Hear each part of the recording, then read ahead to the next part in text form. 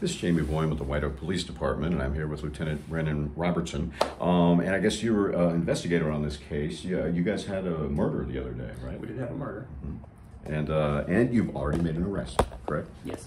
Okay. So what? Uh, it was a kind of an unusual series of events. It, it started, as far as you guys knew, with an accident, but you didn't know about the murder at that point. Right. We got a call on uh, Saturday, July 8th, of a major collision here in town.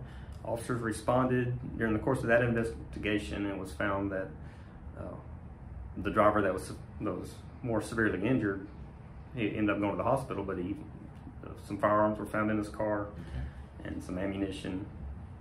Okay. And But at that time, we didn't know anything had happened other than he just had a wreck. Right. And then I guess a couple of days passed, and then you were notified of a, a body in the Mm-hmm. house.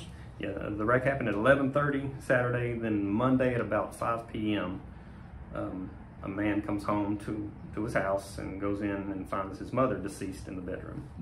Okay, all right. And then, of course, the investigation ensued at that point.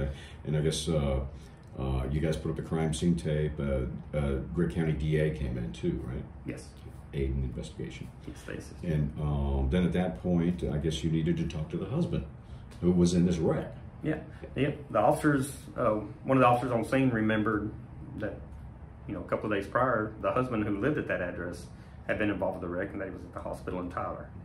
Okay. So you guys went up and talked to him, questioned him a little bit. Went to talk to him, and um, yeah, And then, yeah, and then I guess at, uh, at some point after that, he was released from the hospital. yes. And then you guys tracked him down to a hotel? We did track him down to a hotel. During the course of the investigation, it ended up, we got subpoenas for his clothing and things like that from the hospital. And evidence was found in the clothing Oh, okay. that matched him to the wreck and to the, the scene of the deceased person. Okay, and then you guys uh, had sent her off for an autopsy. Um, what were the results of that? Uh, two bullet wounds to the head. Okay, Okay. Uh, in the pocket of one of his pieces, articles of clothing, they found two sh- empty shell casings, and it matched a gun that was found at the scene of the wreck previously, and which was also missing two rounds okay. of ammunition from it, So it's looking like this maybe happened Saturday sometime. just just prior to the wreck. Yeah, okay.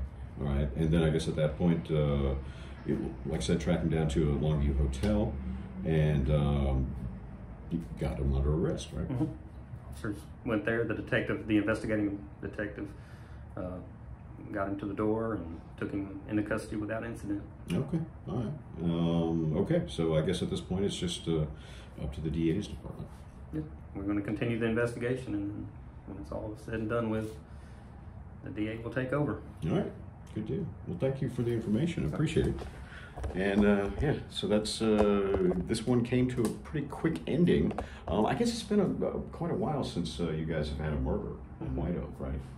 Like ten years, something like that. It's, it's been a while. I- Yeah. I can't remember exactly, but it's not something we uh, we want to see a lot of, thankfully. Right.